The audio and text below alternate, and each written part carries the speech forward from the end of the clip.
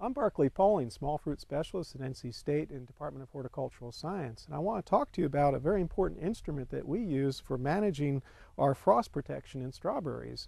Uh, I don't know many crops other than strawberries where this is used, but strawberry growers have fallen in love with these for some good reasons. This is a digital thermometer.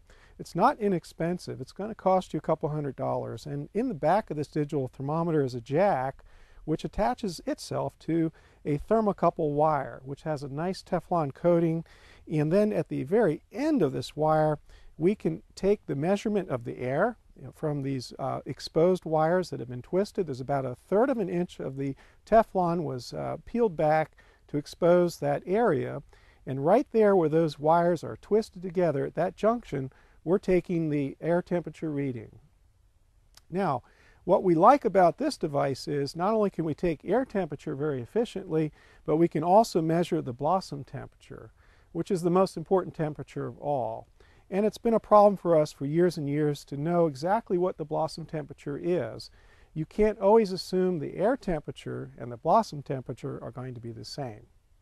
And when they do diverge, that could be real trouble for your decision regarding when to start an irrigation system and when to safely shut off.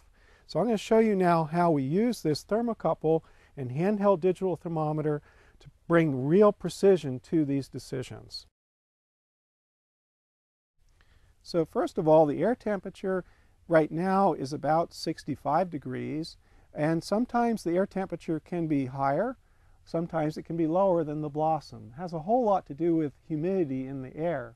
And rather than complicate things, I'm just going to tell you the most important temperature you need to know is the temperature of that blossom. And sometimes it's hard to get that from just a handheld type thermometer.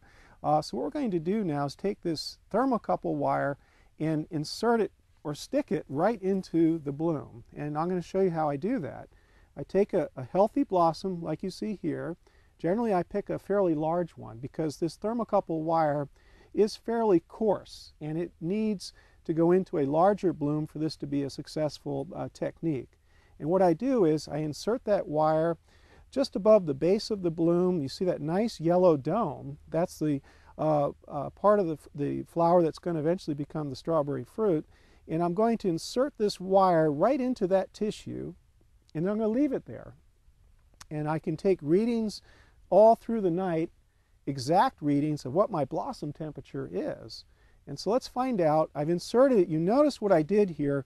I inserted that wire completely into the bloom so that none of the wire is exposed to the air. Remember, I'm trying now to measure blossom, not air temperature. So that's why you don't want the wire exposed. And today, let's just have a look and see uh, the blossom temperature is fairly warm. Sometimes, though, we find, especially on frost nights when the air is particularly dry, the blossom temperature can be 2 to 3 degrees Fahrenheit lower than the air temperature. Now that's a big difference. And when they diverge in that way, you can make some serious mistakes as to when exactly to turn a system, an irrigation system on and when to turn it off. Now I don't have to be guessing about that. And I can look at this temperature. Obviously, we're not in any danger here at 66 degrees, uh, but we do know that a strawberry blossom cannot endure temperatures much below 28 degrees Fahrenheit. And when you go below 28 Fahrenheit, there's a good chance it will be killed even in a matter of 10, 15 minutes.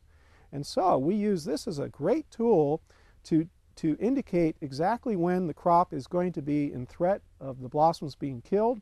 And when we reach usually about 30, 31 degrees Fahrenheit on this digital thermometer, we know it's time to get our irrigation system ready and begin to run it.